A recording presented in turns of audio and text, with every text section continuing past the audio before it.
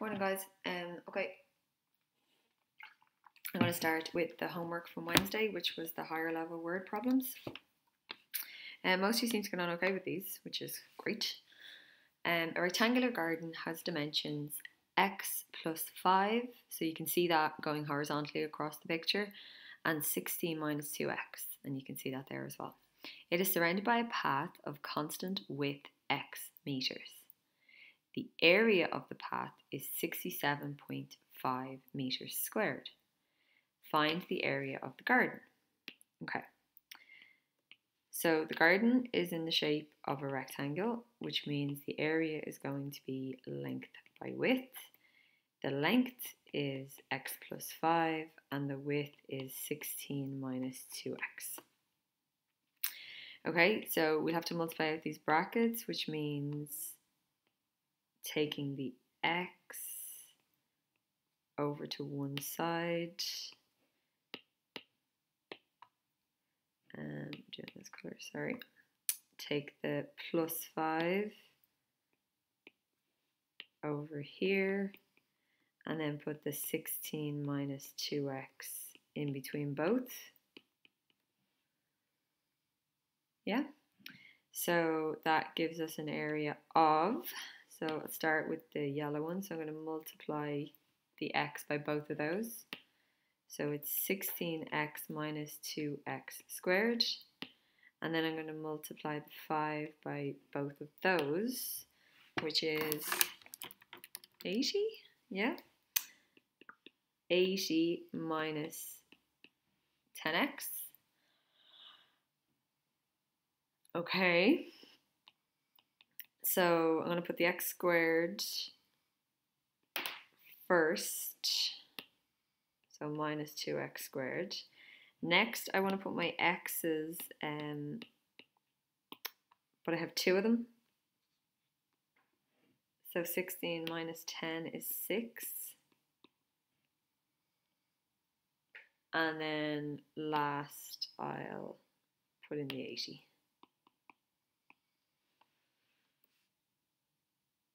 Okay, so I think that's the area of the garden. Hopefully. Uh, we won't know till we do a bit more. Find the area of the path. Now, we're going to need to split this up. Um, okay, I suppose it doesn't really matter. So if I go across here, so make that one part of the path. Yeah. And then the bit at the bottom, if you go across here, should be the same. So if I can figure out what this one is up here, I'll just need to double it. And then we can do the same thing down the side. So if I can figure out what that one is there, then I just double it and I'll have this one over here. Yeah, I think. Okay, so we'll do the red one first. Uh, I'm just going to take off that. Okay, so this way, it's x, and then this way, long ways, it's going to be x plus 5, which is this bit. Yeah? And then you're going to have to add on an x for here and add on an x for here. Yeah? So plus x plus x. So that's 3x plus 5.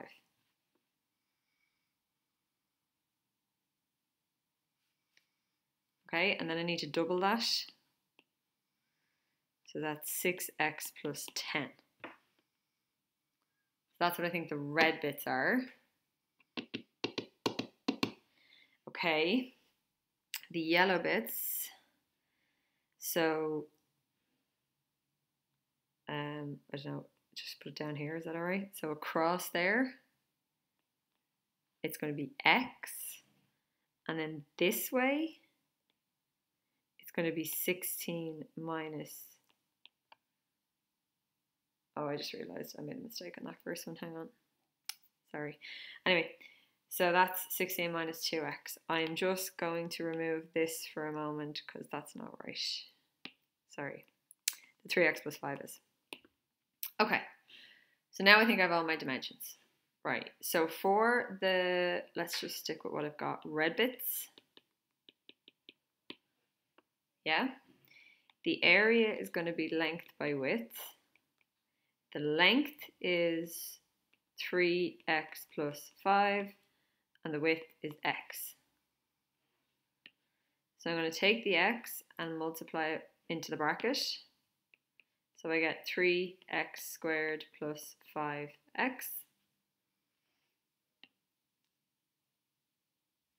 Yeah, and now I can double it.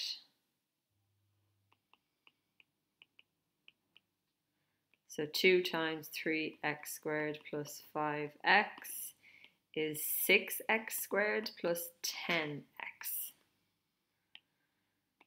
Okay.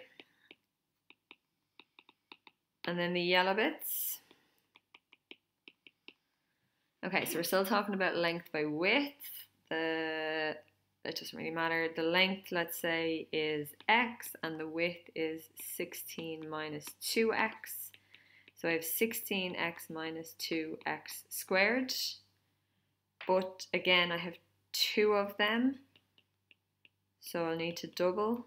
So it's 2 times 16x minus 2x squared, which is 32x minus 4x squared. And then I'm going to need to add them together. So 6x squared plus 10x plus 32x minus 4x squared. So same as I did for the uh, garden. Oh, I wonder could I have done that easier? They told me the area of the path, didn't they? Oh no, no. Yeah, don't think I could have done it easier. Okay, so, oh no, look, we take that off. We have families, this and this. So that makes 2x squared. And then this and this is 42x. Well, that wasn't easy. Okay, so the garden was okay. The garden was just the two dimensions multiplied together. That was okay. To get the path, it was tricky because you needed to split it up. Now, the way I split it up isn't the only way to split it up, but it's a way to split it up. So I have the top and the bottom, which are my red bits, and the sides, which I'm calling my yellow bits.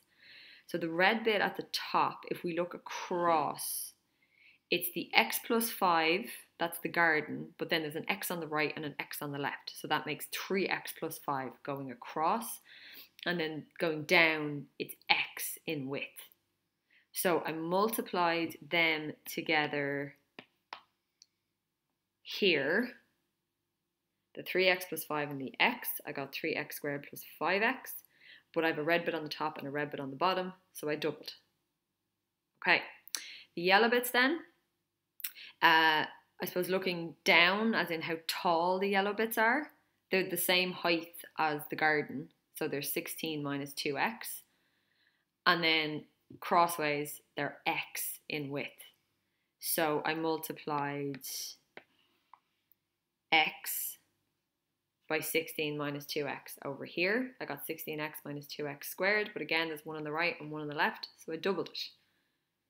32x minus 4x squared. Then I had to add them all together because the path was the two red bits and the two yellow bits. So I added the red bits, 6x squared plus 10x, and the yellow bits, 32x minus 4x squared. And the two x squareds combined give you 2x, sorry, the 6x squared and the minus 4x squared combined give you 2x squared. And then the 10x and the 32x combined give you 42x. And I think that's the area of the path. Okay, so we'll keep going. Definitely harder than the ones we did in the example. So find the value of x, and the only answer or number I've really been given of any significance is here. The area of the path is 67.5. So I have just got an expression for the area of the path down the bottom. And we know the area of the path is 67.5. So if I let them equal each other, I should be able to figure out what x is. So 2x squared plus 42x equals uh, 67.5. Um, okay, so it's a trinomial, except we're supposed to have equals 0, and we don't, so we deal with that by minusing the 67.5 from that side and minusing the 67.5 from the other side. On the left now, we have an x squared, an x, and a number, so none of them can be added together, so we just list them out. 2x squared plus 42x minus 67.5, and now I have my equals 0. I wouldn't leave a fraction in it or a decimal, so it's a 0.5, which is a half. So if I multiply everything by 2, I should be able to eliminate that half. Okay? So multiplying 2x squared by 2, I get 4x squared. 42 by 2, I get 84x. And 67.5 by 2 is minus 135. Oh, these are big numbers. So 135 by 4. So that's going to be a guide number when you combine the 4 with the minus 135, it's minus 540. Okay, again, you can go minus b here because these are big numbers. I'm looking for 84, so anyway, let's get started. 1 by 540. 2 by 270. 3 by 180.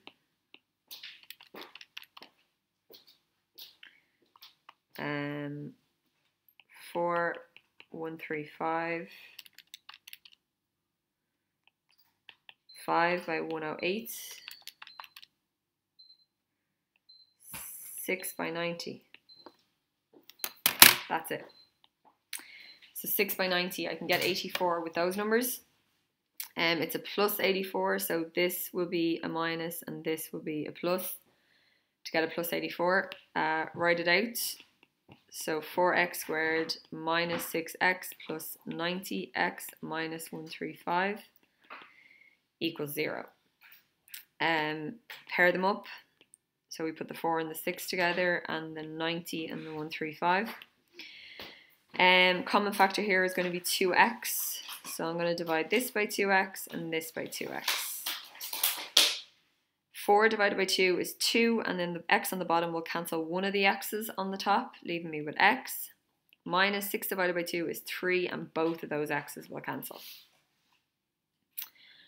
Um, the common factor here, I think, is 45. So I'm going to divide this by 45 and this one by 45.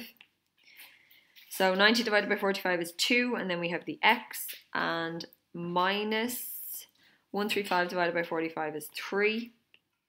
So if these match, which they do, I have it right. So it's 2x minus 3 and 2x plus 45.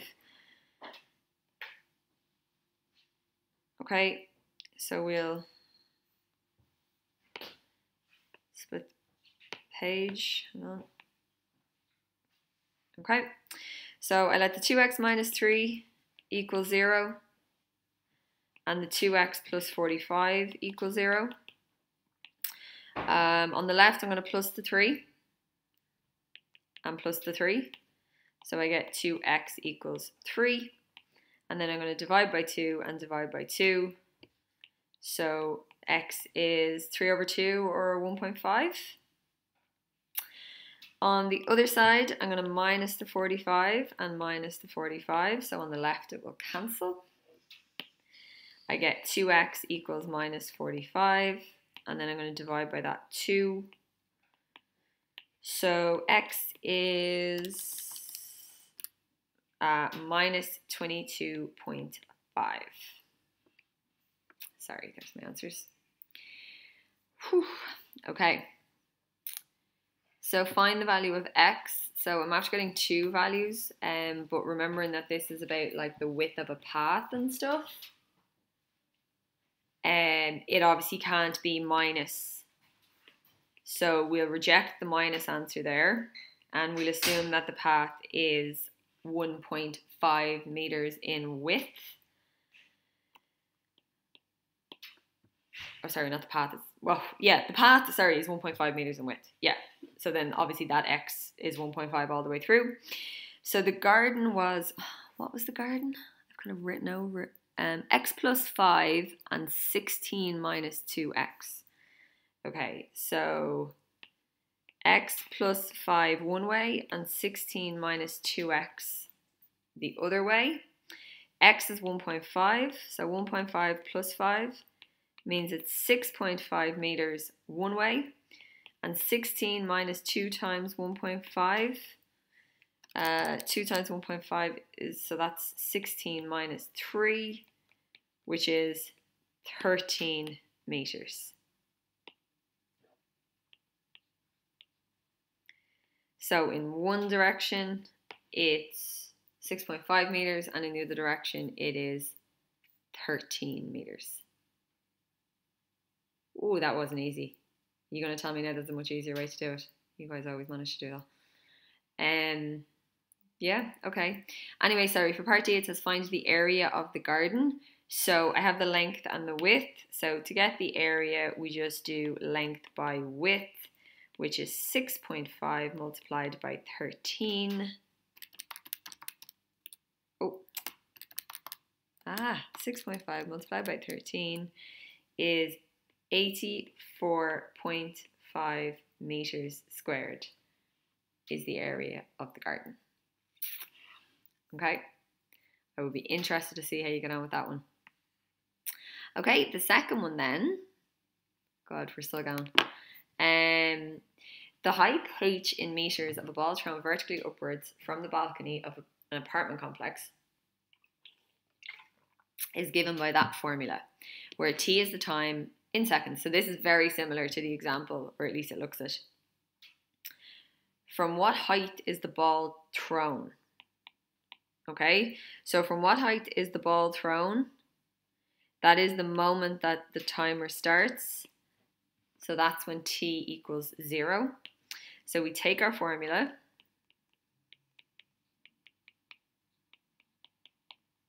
And we let t equal 0, so it becomes minus 5 bracket 0 squared plus 18 bracket 0 plus 8. Okay, the first one, 0 squared is 0, 0 multiplied by minus 5 is 0. Then plus 18 times 0 is 0, and then you have your 8. So the height, was it meters? Yep. So that's 8 meters is the height it was thrown from.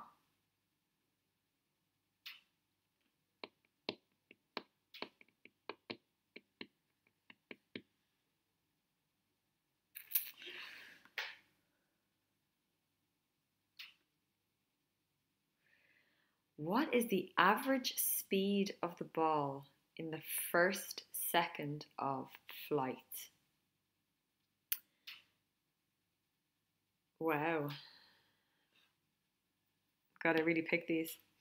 Um, okay, well, it's the first second. So if we figure out what height that, oh, sorry, what height it is when t is 1, would that be a good place to start? You know what? I'm actually going to go underneath because I'm just after using up all the space. Okay, so let's go. The height is minus 5 t squared plus 18t plus 8. And we're going to put 1 in and see what we get for the height. Yeah? Um, when you're doing this, there, just to be aware that you do the square first. So 1 squared is 1, and then multiply that by minus 5 is minus 5, plus 18 plus 8.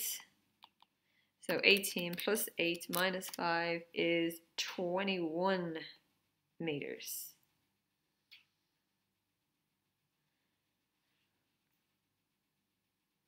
Okay, so at one, so during the first second, it went from 8 meters to 21 meters. Okay, so we know speed equals distance over time. So what distance did it cover in that second? 8 to 21, what is that? 13? So it covered 13 meters of distance in one second. So that is 13 meters per second.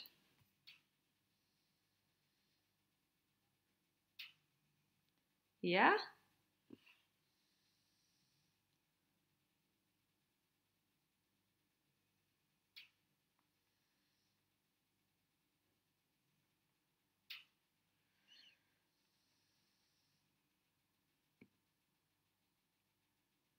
What is the average speed of the ball in the first second of flight? Like that is the first second because at zero, it was when you started the timer. So the first second is going from zero to one. During that second, it covered 13 meters of distance and it obviously did that in a second. So 13 meters per second makes sense.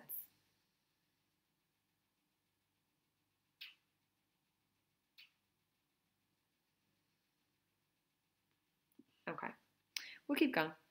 Um, how long did it take for the ball to hit the ground? So we did this one the other day. The ball to hit the ground is when the height is zero. So this is where you take your formula once again, but you make the height zero.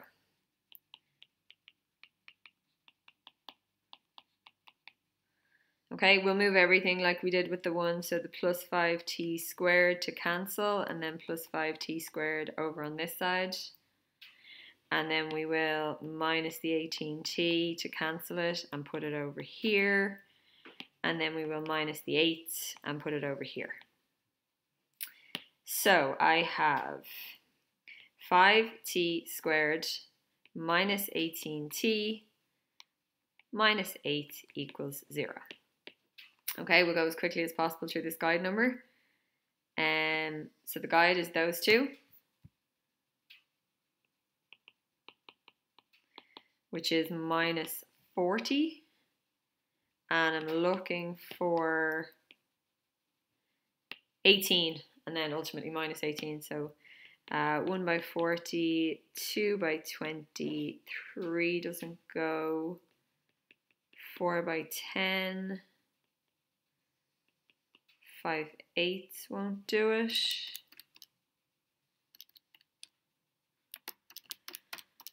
Um, does this not work? Or have I missed something? Maybe.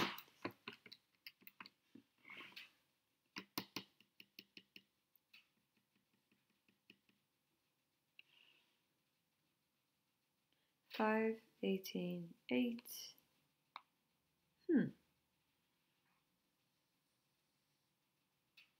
Oh, I've missed something. 2 and 20 will work. So if I need minus 18, we do plus and minus. So that is 5t squared plus 2t minus 20t minus 8. Bracket them off.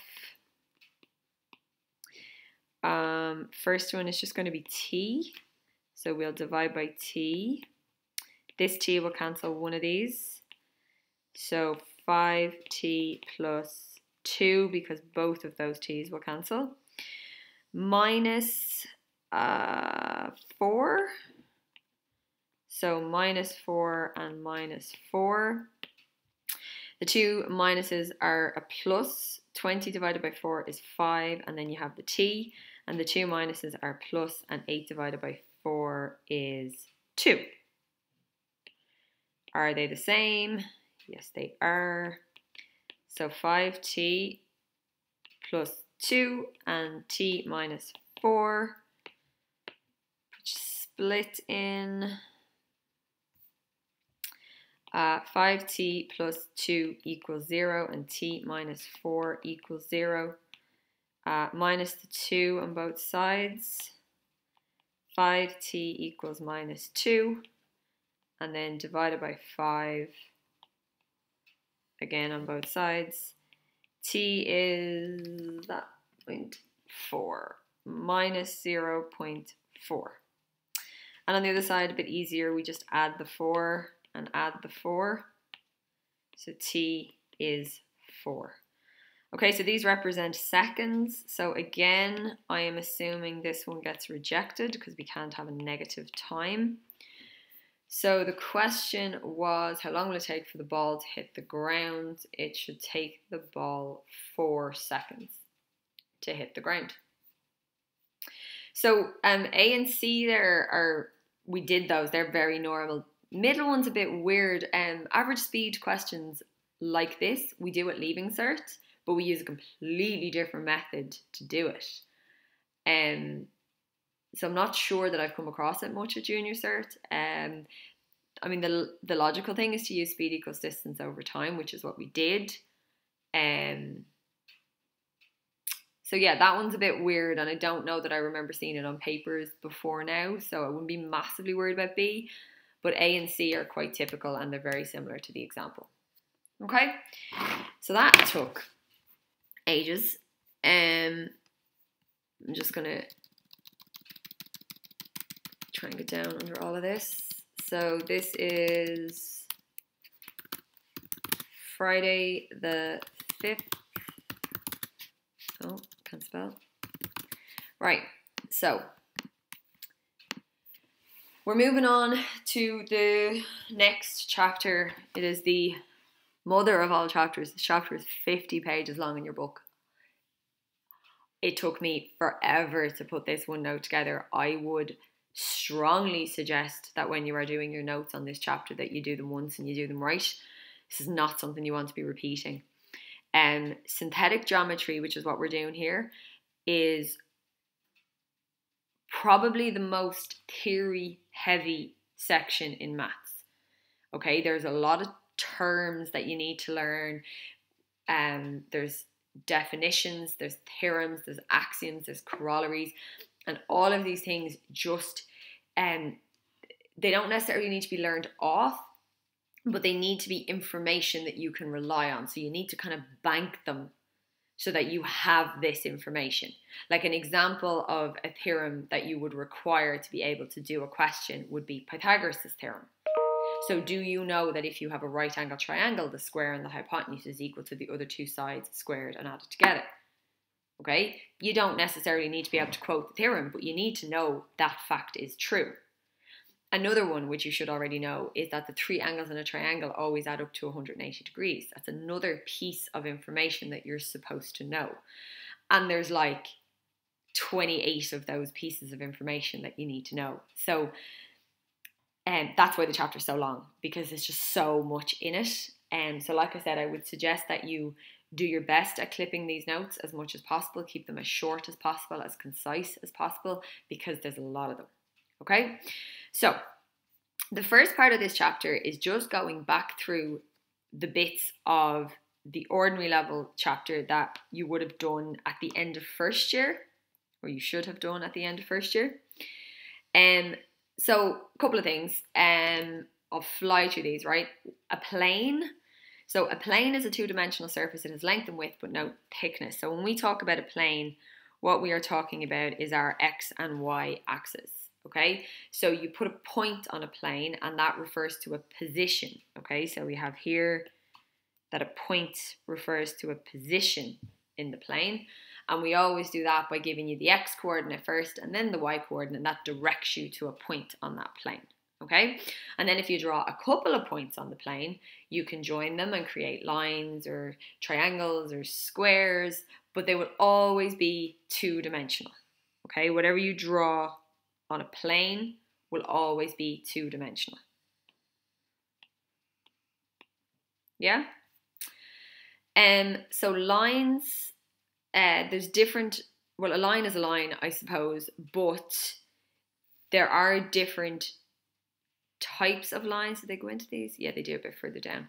Um, so a line is straight and it will be infinitely long in both directions. Okay, so while we might draw a line like, let's try and make it straight. yeah, whatever. All right, there's a random line drawn because my board hopped. So there's a line which I have clearly started and ended. There was a start point and there was an end point, okay? Because that's what I drew. That line would continue. It would continue off in this direction and it would also continue off in that direction, okay? It is infinitely long.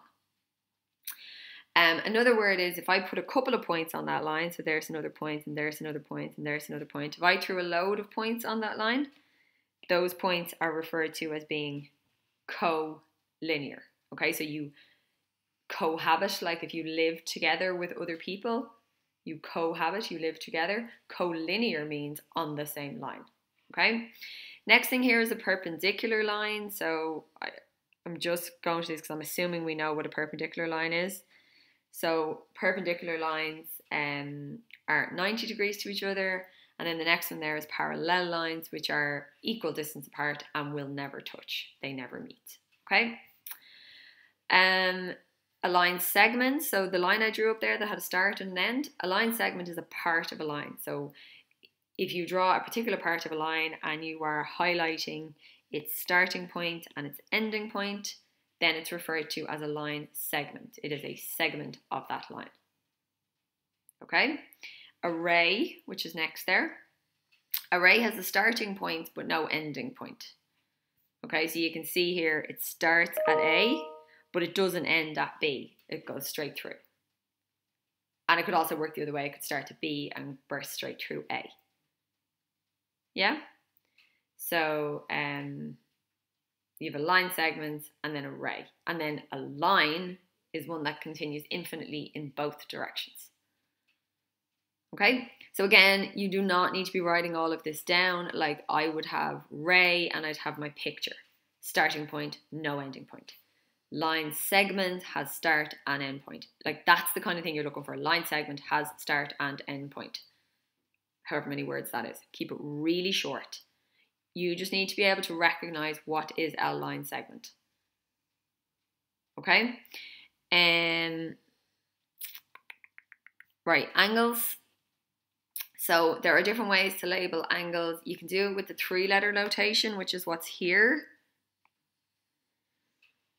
Okay, and that's where you put the the one you're looking for. So like say I make this triangle and it's R S T. Sorry, R S T. And it's this angle here that I want to label. So I use this symbol, because that's the symbol for angle and then I make sure the S goes in the middle. So it's either or or I could do T S or.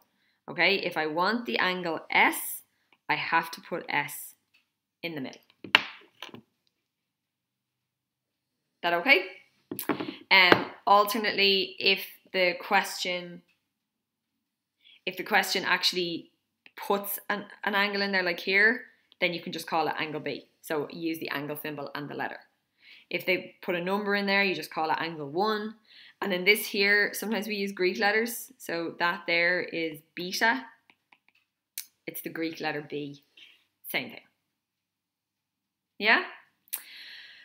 And then the last thing I'm going to get to do today, because I know you have a lot of notes to take down on this, are the different types of angles. So you know most of these. A null angle is an angle that's zero. Acute is less than 90. A right angle is a 90 degree angle. Obtuse is when you go bigger than 90 but not bigger than 180. A straight angle, so a straight line. Actually, I'm going to write that there. So the angle in a straight line or on a straight line is 180 degrees. A reflex angle is when you go beyond the 180. Um, I always remember that because a reflex, you know, if you, if anybody, hopefully nobody has, but if you have a reflex break, uh, you can have a reflex break in your arm or your leg, and that's where your um, elbow or your knee joint bends backwards, you know, beyond the 180, because obviously you can fully straighten your arm, but it shouldn't go any further than that. So if you bend it beyond 180, it's referred to as a reflex break. Um, full angle is the whole way around the circle, so 360. Um, an ordinary angle is an angle that's more than zero and less than 180. So an ordinary angle is either acute, right, or obtuse. Yeah? So an ordinary angle, so an acute angle is an ordinary angle. A right angle is an ordinary angle, and an obtuse angle is an ordinary angle. And then the last one is supplementary angles, and that's any two angles that measure 180. But I think the bit below is really good to note. Uh, they do not need to be beside each other. Okay, any two angles that add up to 180 are referred to as being supplementary. Okay, right, I'm going to leave it at that because the homework just took forever to go through, so I'm just going to leave it at that. Um, I want you to just take down the notes on the beginning of that chapter. And um, that's like one whole, what I've done there is one whole ordinary level chapter. Okay, so there's a lot in it. Please keep the notes short. They do not need to be the same as what's in the book. You need to shorten them down. All you need to do is remember them. So if the question asked you find the line segment, you know what a line segment is. If the question asked you find a ray, you know what a ray is. Okay, so take down those notes um, for Monday and we will continue this chapter. Okay, thanks, guys. Um, talk to you Monday.